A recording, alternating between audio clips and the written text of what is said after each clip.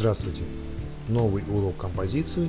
Сегодня мы говорим о понятии композиционного центра в картине.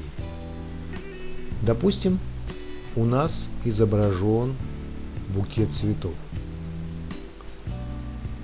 Как мы будем создавать направление взгляда зрителя? Какой объект в картине является главным, а какой второстепенным? Именно эту задачу помогает решить понятие композиционного центра – Композиционным центром будет, будет являться самая темная, самая контрастная, самая прописанная часть картины. Посмотрите, создавая вот эти темные контрастные пятна, я вольно или невольно привлекаю ваше внимание именно к этой части изображения.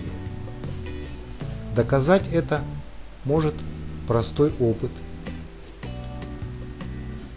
Посмотрите, где сосредотачивается ваш взгляд? На белом фоне или все-таки на темном пятне, которое время от времени появляется на экране? Я прибавил к темному пятну два цветных.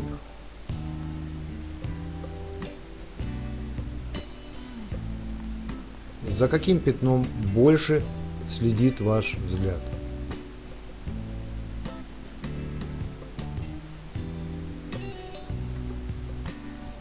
все равно мы обращаем большее внимание на темное пятно. Ну а теперь несколько примеров, как говорится, из жизни, на своих работах о том, как это понятие воплощается в жизнь, да?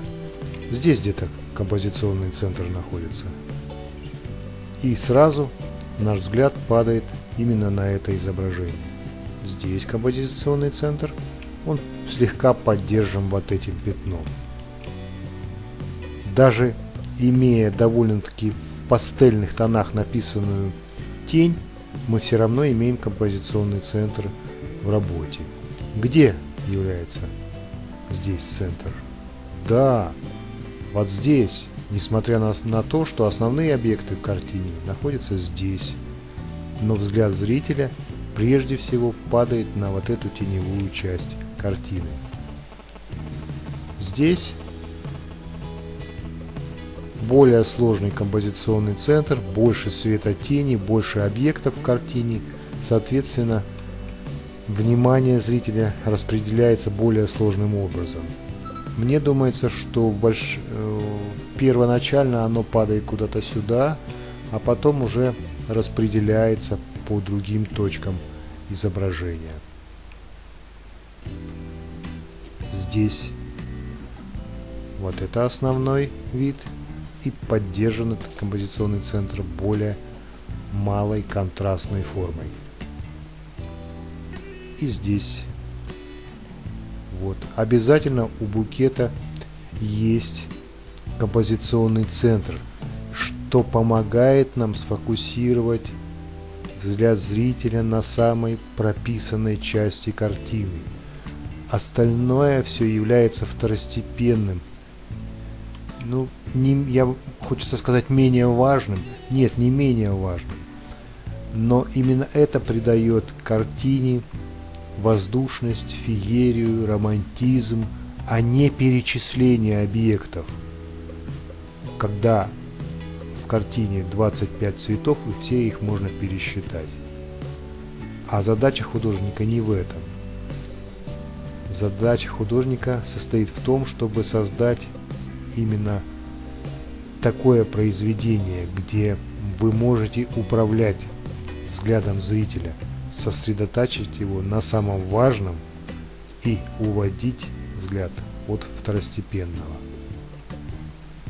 Мы находимся в группе «Артшкола», альбом группы, где видим фотографию Маши Паниной.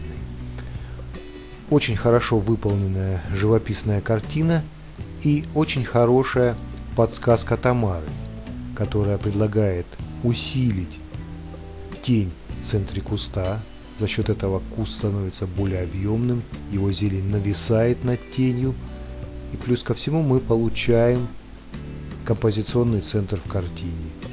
У нас есть место, вокруг которого организовано все пространство картины. Наверное, одного урока будет недостаточно для того, чтобы полностью проникнуться пониманием к предложенной теме. Я думаю, мы вернемся к рассмотрению понятия композиционного центра немного позже. На сегодня у меня все. Спасибо за внимание. До свидания.